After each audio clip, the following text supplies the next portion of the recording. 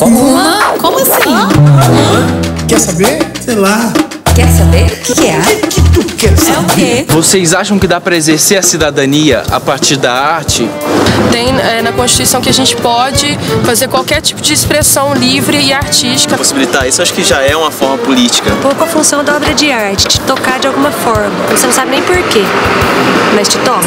A função é realmente provocar. A gente pode é, trabalhar com novas perspectivas de olhares no mundo. Porque a arte e cidadania funcionam juntas. Uma arte feita por homens, que fala de homens para outros homens. Então isso já é uma, uma conexão, sabe? Isso, isso já tem um, um, um teor político-social. É uma maneira de depois estar divulgando isso e conscientizando as pessoas. Se fosse para vocês escolherem uma arte para exercer a cidadania de vocês na rua, qual arte vocês escolheriam?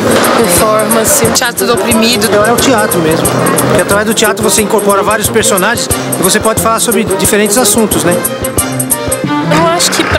Tratar de cidadania, o teatro que a gente vê, ele tem que estar com cunho político. Às vezes o tema, ele já é, ele já, ele já é político, ele já coloca as pessoas para pensar no coletivo. Né? O teatro é a arte do encontro, né? Tem sempre um lugar que te toca, tem sempre outro lugar que não te toca.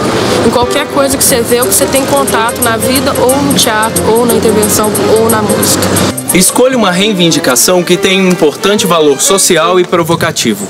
Faça peças rápidas, claras e de fácil compreensão do público. Use faixas, cartazes, símbolos, panfletos e outras formas complementares de se explicar a mensagem que pretende passar. Faça um bom roteiro, ensaie e pense bem como fazer seu público interagir e refletir sobre questões de cidadania.